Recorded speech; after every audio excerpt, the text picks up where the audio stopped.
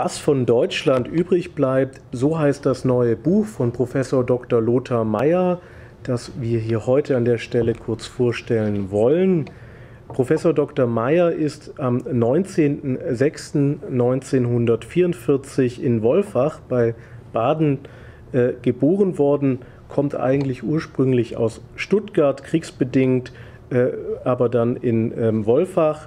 Das Abitur hat er 1965 in der Waldorfschule Stuttgart-Ulandshöhe gemacht, 1965 bis 67 den Wehrdienst in Landsberg am Lech abgeleistet und 1977 erfolgte dann die Promotion.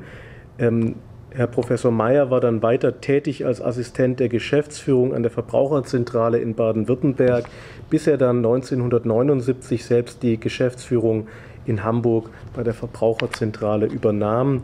Seit 1982 dann Professor für Verbraucherpolitik und seit 2017 Mitglied des Deutschen Bundestages, hier im Auswärtigen Ausschuss insbesondere aktiv und ähm, man darf es, denke ich, dazu sagen, auch ein ähm, langjähriger Parteifreund, Landesvorsitzender in Baden-Württemberg gewesen, zur Bundestagswahl 2017 unser Spitzenkandidat in Baden-Württemberg und heute sprechen wir über dein Buch. Was von Deutschland übrig bleibt, ähm, Lothar, das ist ja ein, ich würde sagen, ähm, sehr ähm, fragender Titel erstmal. Wie steht es denn um Deutschland? Was hat dich zu diesem Buch bewogen? Und ähm, Wann hast du für dich gesagt, jetzt wird es Zeit, nochmal diese Punkte Revue passieren zu lassen und ein Buch zu schreiben? Ja, der Ausgangspunkt äh, ist der, dass ich äh, selbstbewusste Nationen, die sich auch selber noch als solche verstehen, kennengelernt, kennengelernt habe und äh, dem gegenübergestellt habe, dass das deutsche Beispiel, wo schon der Begriff der Nation, des Nationalen, äh, inzwischen verpönt ist. Äh, national äh, zu denken, das ist schon am Rande des Faschistoiden angesiedelt. Inzwischen redet man nicht mehr so viel von Faschistoid, sondern von rassistisch. Ein Bekenntnis zu der eigenen Nation als Ausdruck von Rassismus. Und ich habe mir dann überlegt, ähm, mal darzustellen, was macht eigentlich eine Nation aus? Woraus besteht sie? Was ist der Kit, äh, der sie zusammenhält. Da gibt es äh, natürlich viele Standardantworten. Die Nation besteht vielleicht aus einer bestimmten Ethnie, äh, sie besteht aus der Sprache, sie besteht aus der Kultur, aus der gemeinsamen Geschichte und noch vielem anderen. Ich habe versucht, das mal systematisch darzustellen und bei jedem dieser Elemente zu überlegen, wie viel ist davon eigentlich noch übrig wie viel ist schon dekonstruiert äh, worden, wie viel ist äh, ins, ins, Negative verfälscht worden, äh, kann man eigentlich von einer deutschen Nation noch sprechen. Und es gibt ja inzwischen sehr viele, die sagen, eine deutsche Nation, die gibt es nicht, die gab es auch nie. Eigenartigerweise, denn äh, diejenigen, die sich als Teile der deutschen Nation verstanden haben, nämlich das deutsche Volk, von dem auch das Grundgesetz spricht, haben ja in der Geschichte auch gemeinsam große Leistungen vollbracht. Da muss man nicht äh, zurückgehen äh, auf das vorige Jahrhundert, auch nicht auf das vorvorige, sondern da kann man noch äh, sehr weit in der Geschichte zurückgehen, vielleicht bis in das 11., 12. Jahrhundert, wo die Deutschen angefangen haben, sich als, als Volk zu verstehen und dann später als Nation. Nation ist ja auch ein Begriff, der sich auf das lateinische Natio bezieht, also die Geburt. Das allerdings ist wohl derjenige Kit, der inzwischen am wenigsten hält. Die entscheidende Frage ist sicher, äh, wie versteht eine Nation sich selbst? Äh, ist sie bereit, für ihren Zusammenhalt Opfer zu bringen? Das hat sie in der Vergangenheit in großem Umfang getan will sie als Nation, als Volk fortbestehen oder nicht? Und hinter beides muss man in Deutschland heute ein Fragezeichen setzen, vielleicht ein größeres Fragezeichen als in anderen Völkern in Europa, die ähnlichen Mechanismen ausgesetzt sind, aber wo es nicht solche Formen erreicht hat wie in Deutschland. der positive Bezug zum eigenen eigentlich was völlig Natürliches in anderen Ländern. Wann hat das in Deutschland angefangen?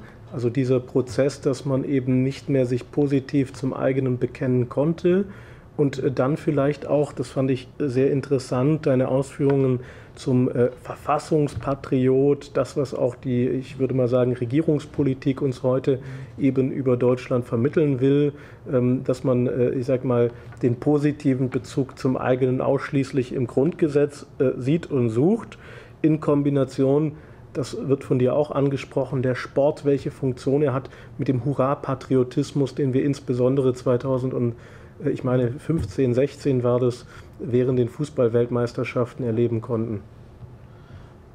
Also was die, die, die, das mangelnde Selbstbewusstsein der Deutschen angeht, da kann man in der Geschichte ein ganzes Stück zurückgehen. Schon Bismarck äh, hat im Reichstag mal beklagt, leider seien die Deutschen das einzige Volk, das fremde Interessen regelmäßig über die eigenen stelle. Äh, das ist inzwischen perfektioniert äh, worden. Äh, die von, von, von den eigenen nationalen Interessen zu sprechen, wie schon gesagt, wird gar nicht mehr geduldet.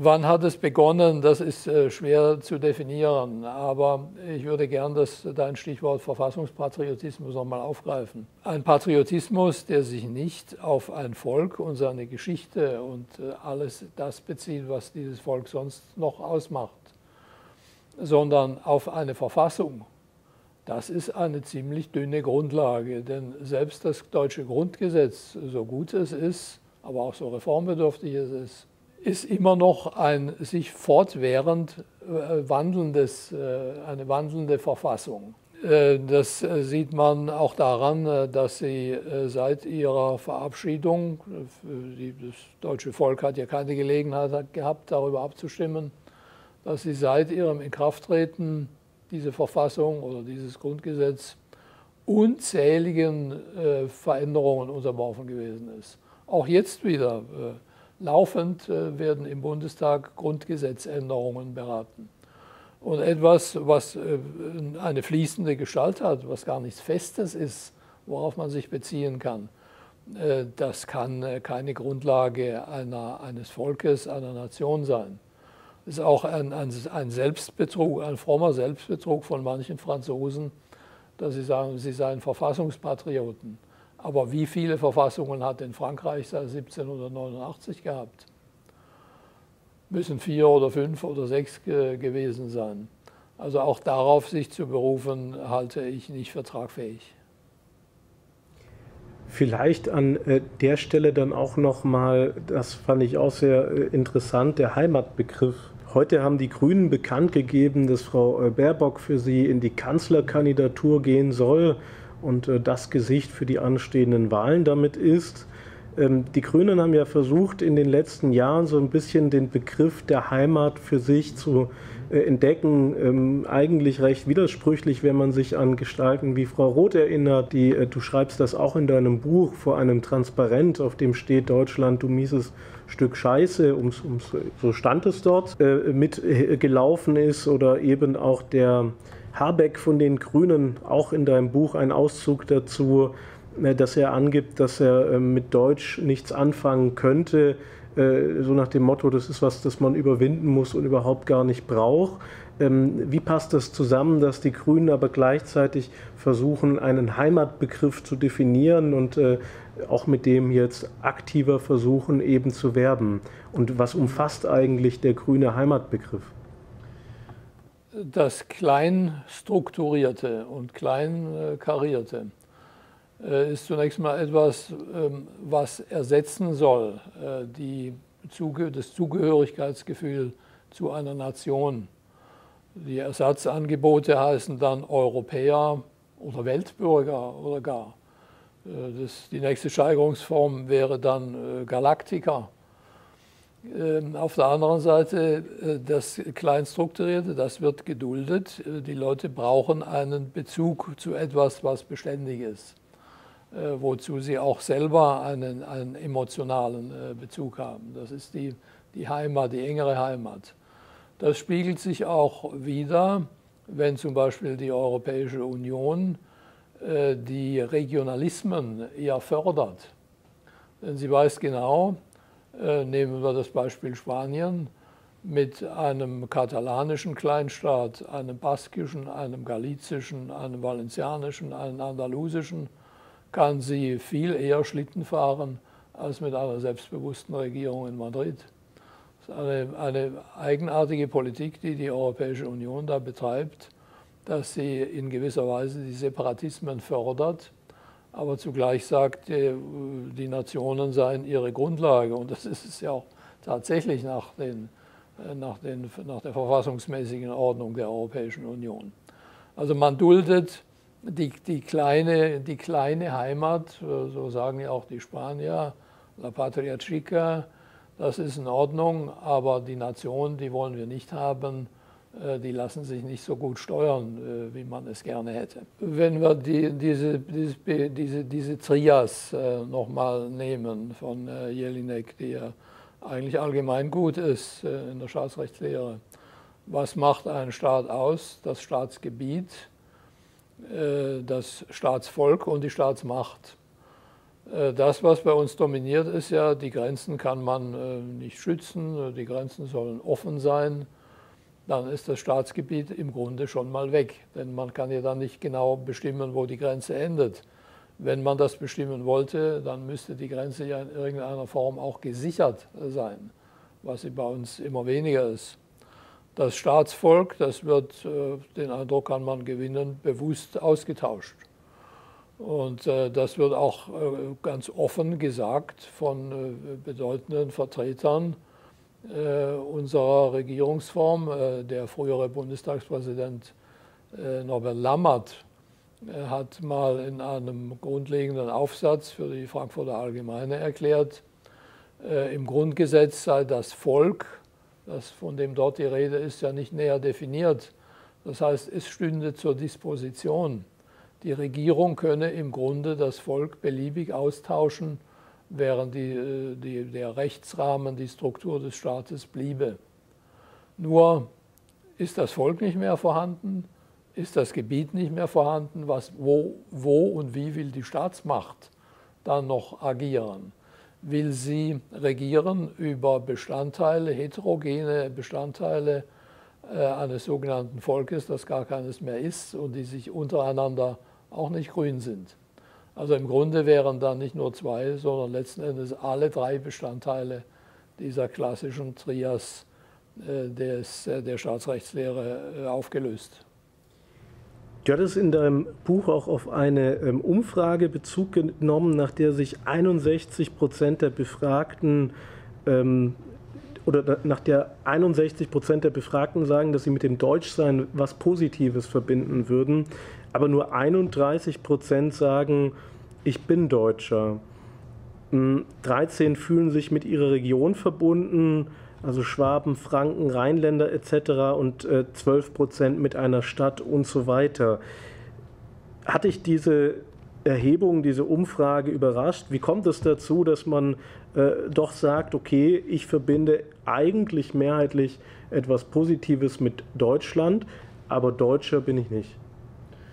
Man kann es manchmal beobachten, äh, wenn Deutsche, die so reden und sich so äh, seltsam einsortieren, von einer Reise zurückkommen in ein Gebiet, wo es drunter und drüber geht und wo die gewohnte Ordnung und das gewohnte Funktionieren von Systemen, etwa der öffentlichen Versorgung äh, bis zum, zum Rechtssystem, partiell nicht existieren, nicht nur, nicht, nicht nur zusammengebrochen sind, sondern nie zuvor wirklich da waren.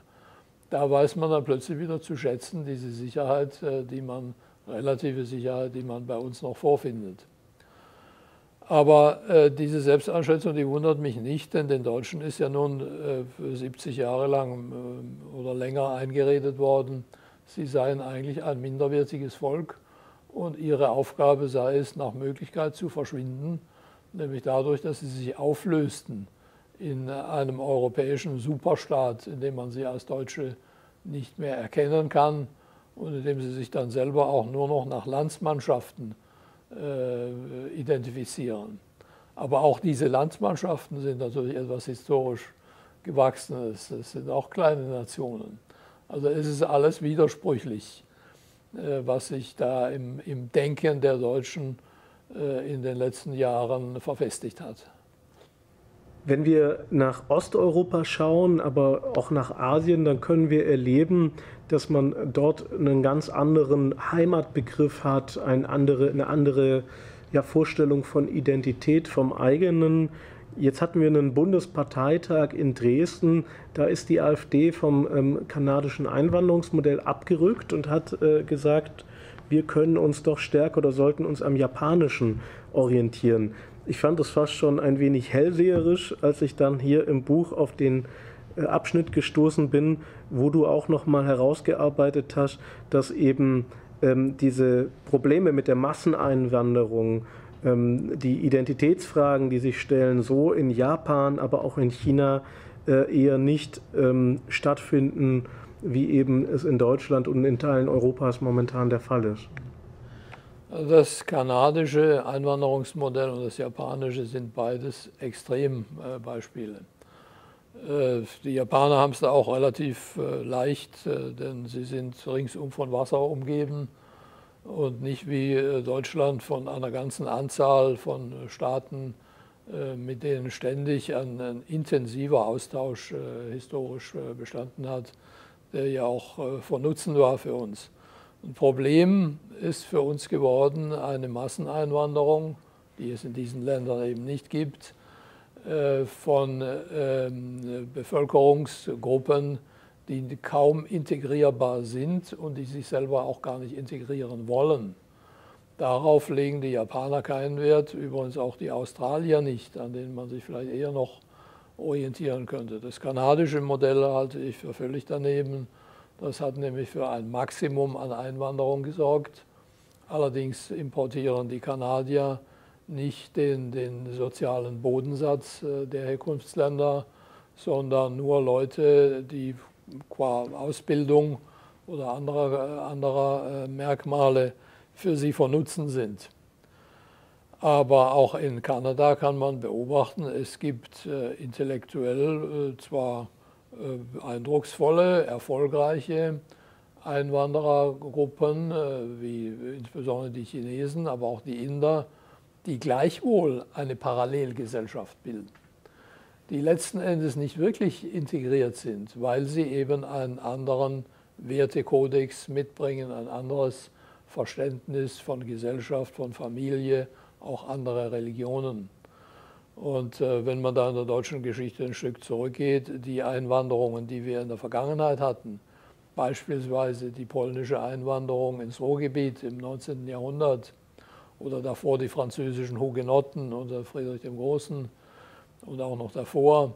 Das waren Einwanderergruppen, die sich sehr leicht haben integrieren lassen äh, und äh, die äh, von einem bestimmten Grundverständnis von europäischer Kultur ausgehen konnten, das etwa bei Einwanderern aus dem Nahen Osten, aus Nordafrika, aus Zentralafrika nicht vorhanden sein kann.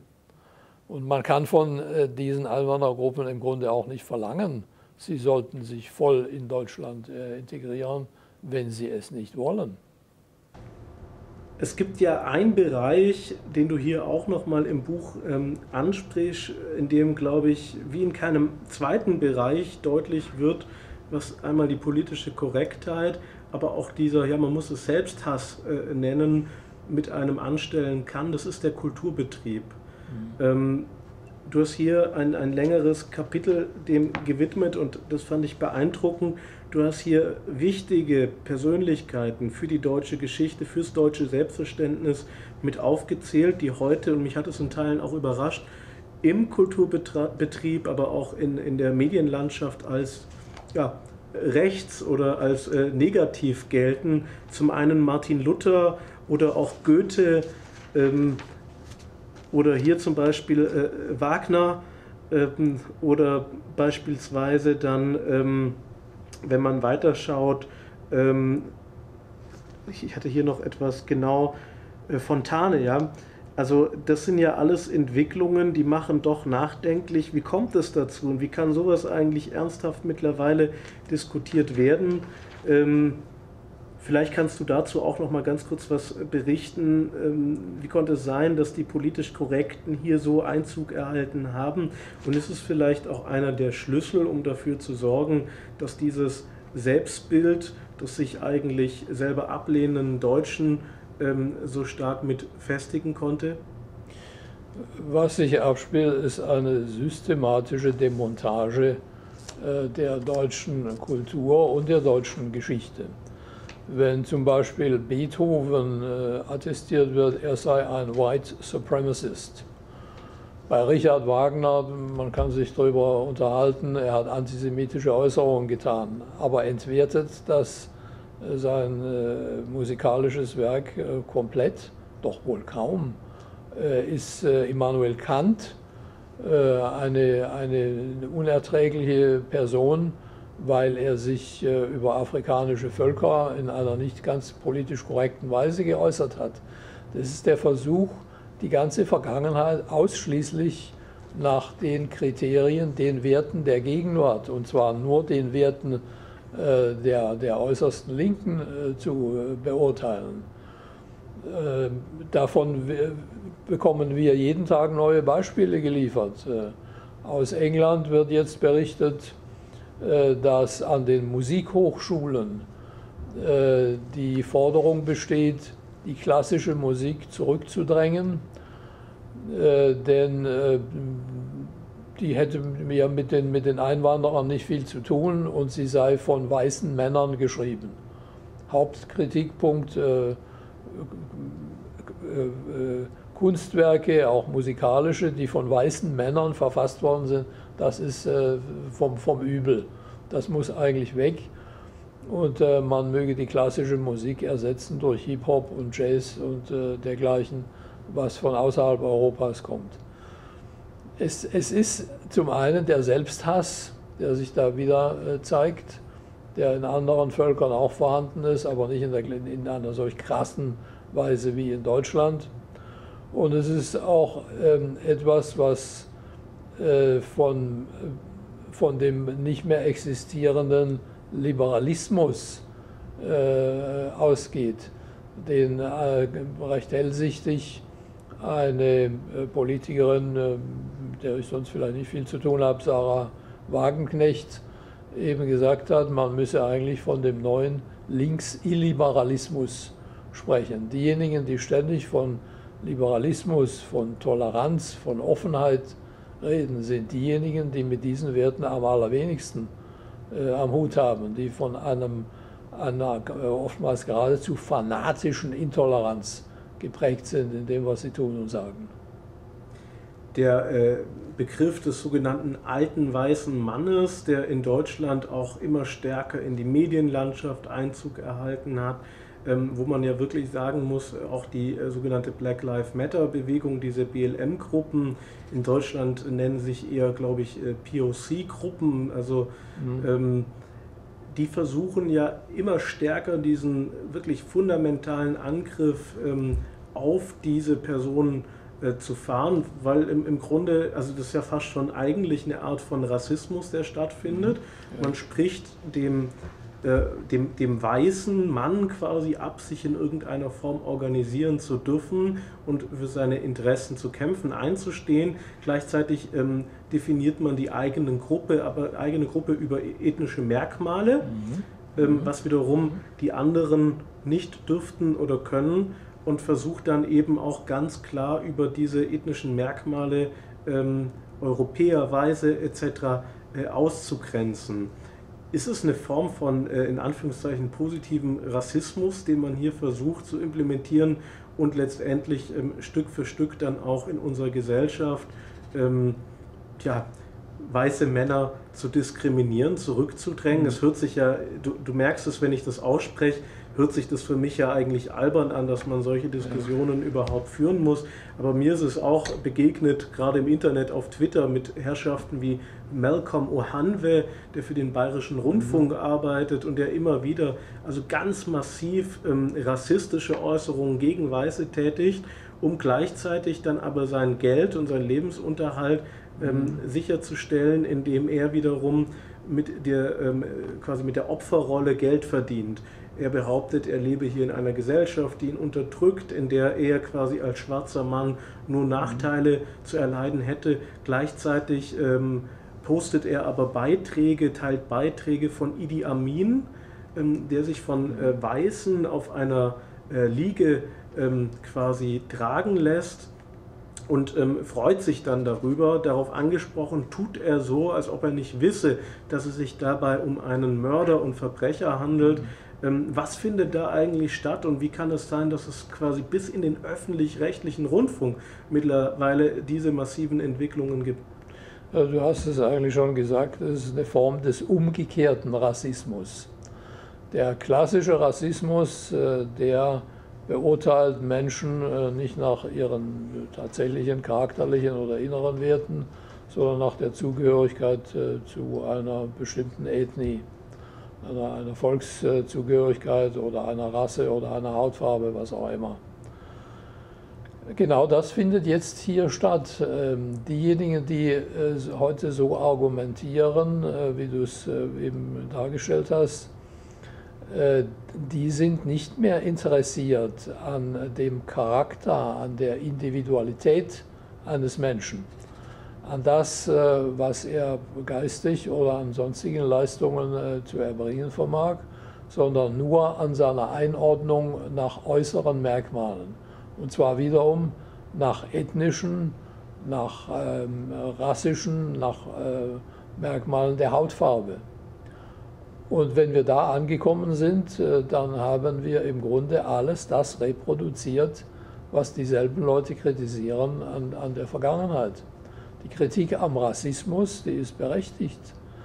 In der Vergangenheit hat er große Triumphe gefeiert. Von heute von strukturellem Rassismus hier zu reden, äh, empfinde ich einfach albern. Äh, wer leidet denn so schwer unter Rassismus? Vielleicht gerade die, die damit große Karriere gemacht haben. Also eher ein Geschäftsmodell. Ein Geschäftsmodell, genau, genau. Also es ist ein, auch wiederum eine Form des, des Illiberalismus und es ist eine, eine der erbärm, erbärmlichsten Formen äh, des äh, deutschen Selbsthasses, so etwas überhaupt hinzunehmen. Da wurde neulich äh, tatsächlich dann auch im öffentlich-rechtlichen von einer ähm, jungen ähm, afrikanischen Dame davon gesprochen, dass äh, weiße Tränen, also Tränen haben dann sogar Farben mittlerweile schon ganz besonders verletzend sein. Äh, in keinem anderen Land der Welt würde man doch so etwas im Fernsehen zeigen. Ähm, was können wir da auch als AfD in die Richtung bewegen, um wieder mehr Normalität, ähm, und da sind wir schon wieder beim Bundesparteitag und bei den äh, neuen Parteislogans für die Werbekampagne zur Bundestagswahl, ähm, Normalität, was können wir dafür tun, dass hier wieder mehr Normalität geschaffen wird? Indem man den, Deutschen, den, den, den Leuten wieder beibringt oder ihnen ermöglicht, so zu reden, wie sie denken und wie sie es äh, empfinden. Und nicht bei jedem Satz sich überlegen müssen, habe ich jetzt vielleicht verstoßen gegen irgendein ein Gebot äh, der politischen Korrektheit.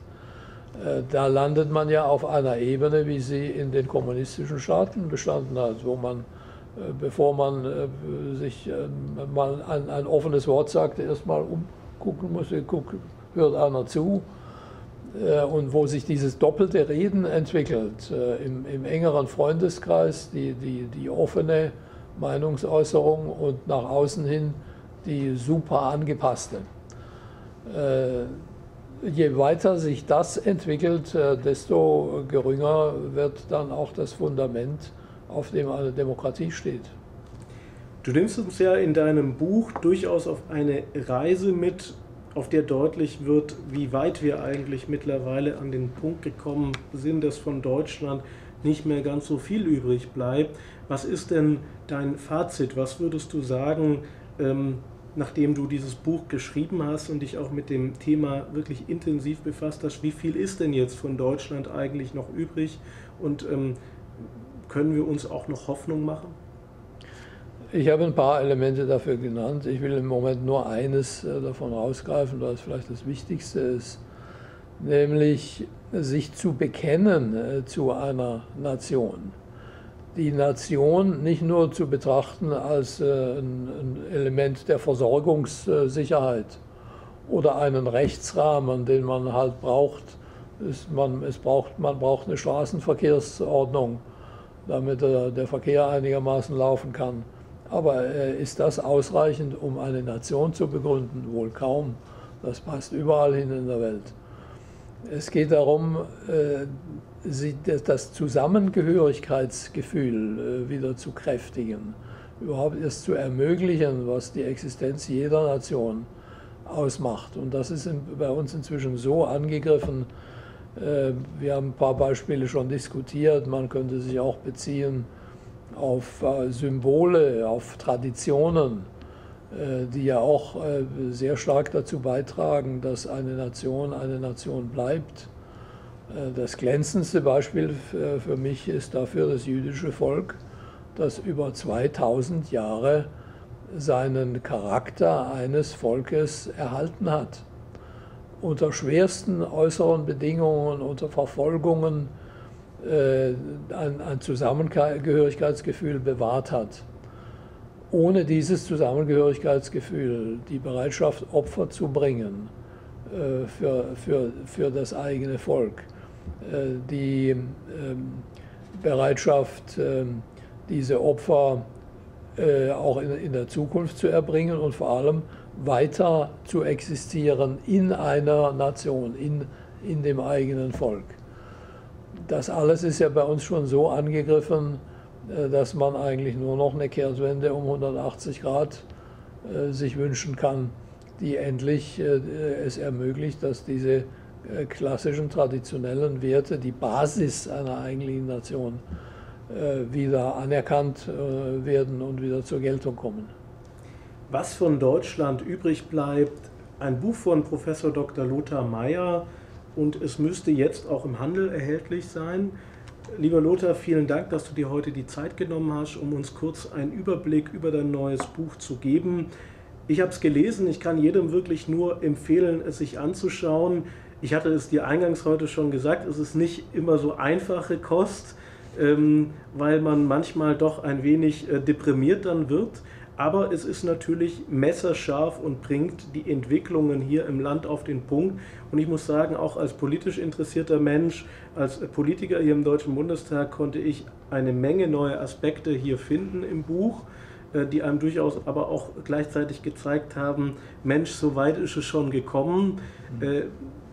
Klar, aber ich denke, unser Auftrag heißt, ähm, Deutschland wieder lieben lernen. Das müssen wir den äh, Menschen da draußen beibringen. Und ähm, dann bleibt vielleicht noch was von Deutschland übrig. Vielen Dank. Und vielleicht kannst du auch noch mal den Zuschauern sagen, wo dieses Buch erhältlich ist. Überall im, im Buchhandel. Es ist erschienen im Gerhard Hess äh, Verlag. Und äh, kann man ja auch noch dazu sagen, es kostet äh, 16 Euro, äh, 16,99 Euro äh, üblicher, übliche Preisgestaltung. Ist also noch erschwinglich und ich äh, hoffe, dass es äh, große Verbreitung findet. Vielen Dank.